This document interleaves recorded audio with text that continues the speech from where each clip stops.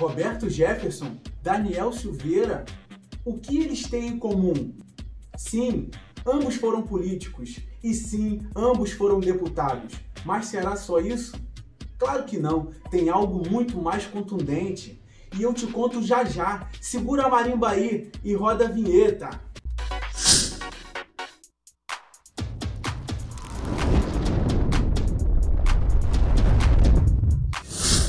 Rapaziada, rapaziada. O negócio é o seguinte, já se inscreveu no canal? Botãozão vermelho aqui embaixo.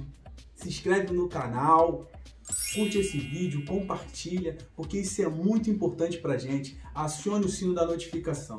Você que tá com saudade do Rafael, Rafael Brasil 5 volta no próximo vídeo. E vamos direto ao assunto. Galera, só para contextualizar, o negócio é o seguinte. Vocês viram o que aconteceu com Roberto Jefferson, né, pouco antes das vésperas das eleições, né, quando policiais foram cumprir um mandado de prisão expedido pelo STF e ele, é, resumidamente falando, recebeu policiais a bala. Claro que nós aqui no, no, canal condenamos esse tipo de atitude, isso não é atitude de cidadão, isso é atitude de, de, de outro tipo de pessoa, né? A gente vai evitar algumas palavras aqui para poder é, não cortarem o nosso alcance aqui no canal. Mas continuando, se liga aí, calma aí, ansioso, calma que eu vou te contar tudo, vou te mostrar aqui o que o Daniel Silveira falou que tem a ver com o Roberto Jefferson e o porquê eu tô falando do Roberto Jefferson. Calma, segura a marimba aí. Continuando, vocês viram isso aí, quem não viu só dá um Google aí, foi, isso aí viralizou, enfim. Continuando, o Daniel Silveira, em entrevista ao Rica Perrone no canal Cara Tapa. Ele falou o que podia, o que devia e o que não devia, vamos dizer assim. E ele disse algo extremamente contundente e vocês vão entender logo depois de ver o vídeo e aí eu explico para vocês, falo um pouquinho mais sobre isso. Pessoal, vocês vão ver aqui e eu vou ver na minha telinha aqui na frente aqui. Se liga só. Pois. Então você teve esse, esse, esse seu história como policial e tal. E aí você veio político, aí você desafiou o STF, você foi preso. E eu Impossível saber... juridicamente, mas fui. É, eu queria saber o que, que isso mudou em você. Se você repensou, se você depois disso falou, não, vou pegar um pouco mais leve, não valeu a pena pelo que você deve ter sofrido, imagino, é, preso, ninguém deve, não deve ser legal. Não, não é legal. não deve ser legal. Mas valeu a pena valeu, você não mudaria nada, você faria tudo não, e vai continuar. Na, na, verdade, na verdade, eu ratifico cada palavra. Primeiro que não tem crime naquelas palavras. Segundo, se você ofende alguém, já existe a tipificação no Código Penal. Você vai lá em processo, na área civil, na área criminal, com calúnia e de difamação. Isso não tem licenciamento de liberdade para ninguém, absolutamente. Né, se fosse você que agora caluniando, eu ia falar, não gostei, vou processar assim. Indenização ulterior, esse tipo de, de questão. Agora, não cabe nunca o licenciamento, nem sequer a condução coercitiva para a delegacia. Você formaliza a ocorrência e segue o processo. Basicamente isso. Não precisa ter as duas partes, por exemplo. Então você, mesmo com o que você passou e sabendo que há a possibilidade de acontecer de novo? Não, não há essa possibilidade. Não há? Não há. Não há porque esse tipo de autoridade a gente não reconhece mais.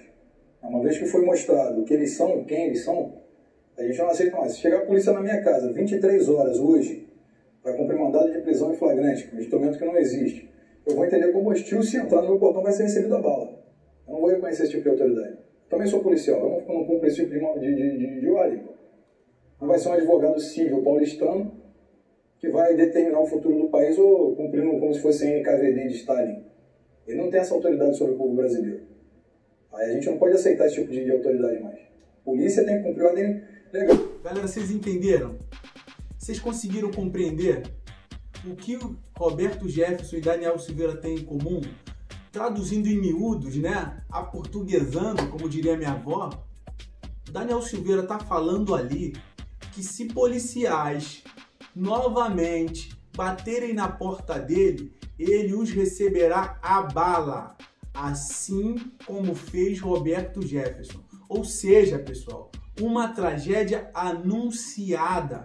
Eu não quero entrar no mérito, no mérito da questão quem está certo, quem está errado, se a decisão é arbitrária ou não é. Não é isso. A questão é a seguinte: eu não sei, aliás, eu tenho convicção que esse não é o jeito mais inteligente de se resolver as coisas.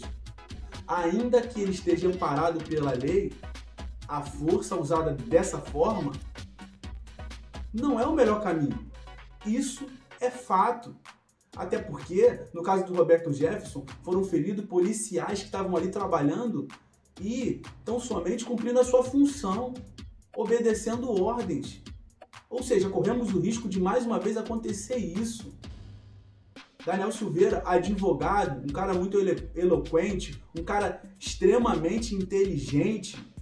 Eu, inclusive, admiro a postura dele em inúmeras situações, mas eu não posso concordar, mesmo ele, entre aspas, estar, estando certo, não posso concordar com esse tipo de reação, pessoal.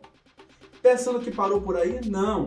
Ele falou e ratificou, como ele bem disse, e ele continua. Dá uma olhada aí no mais um vídeo aí para você.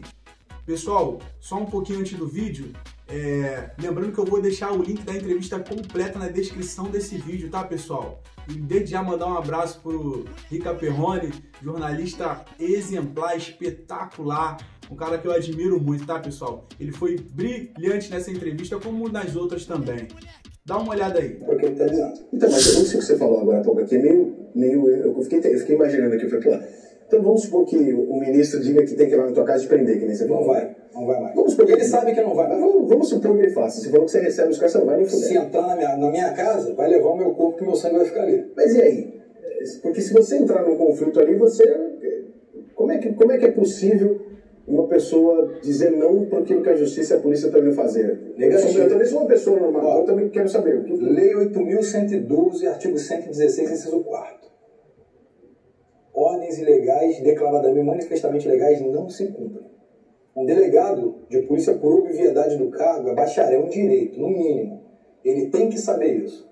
O delegado ele tem que bater no peito dele e falar: ministro, com data máxima vênia, essa ordem está ilegal, não vou cumprir. A ordem é mandado de prisão em flagrante, cara. Você tem noção do que é isso? Mas se tu trocar umas balas, aí tu vai arrumar outro problema. Mas aí, meu irmão, a gente estar no inferno abraço do diabo, cara. Tem que fazer isso aí. Se o cara tá dentro da... Rapaz, o cara entrar...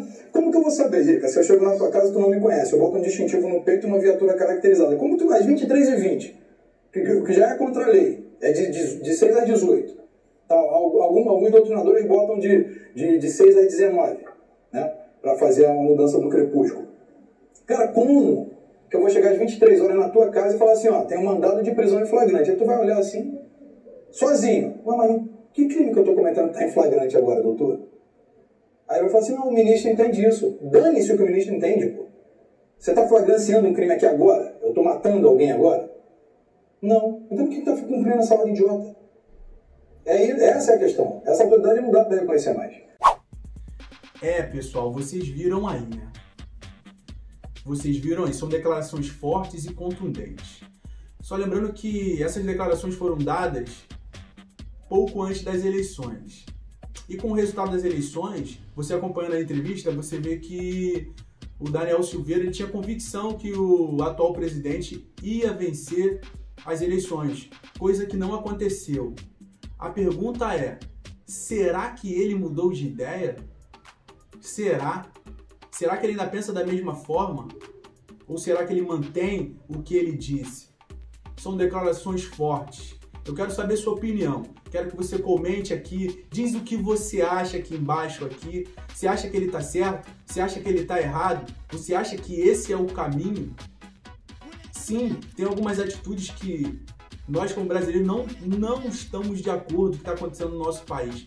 Mas esse é o caminho a indignação do povo, a nossa indignação em relação a determinadas coisas que estão acontecendo no nosso país justifica uma atitude dessa? Eu, sinceramente, acho que não é o caminho e tenho certeza que não. Me diz você. Bom, esse foi o vídeo de hoje. Obrigado por ter ficado até aqui. Obrigado por mais uma vez estar nesse canal. Mais uma vez eu te peço para se inscrever, nesse canal, compartilhar e comentar, tá bom, pessoal? Lembrando sempre, um dia de cada vez e até o próximo vídeo.